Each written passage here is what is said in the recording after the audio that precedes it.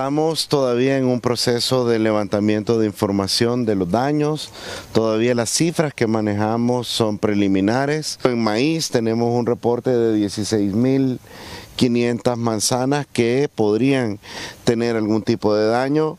En arroz un total de 650 manzanas. En frijol eh, alrededor de 18.200 manzanas. El funcionario aprovechó para llamar a la ciudadanía a denunciar si experimentan un aumento en el precio de los granos básicos. El funcionario dijo que no hay ningún motivo para que los precios aumenten sin justificación.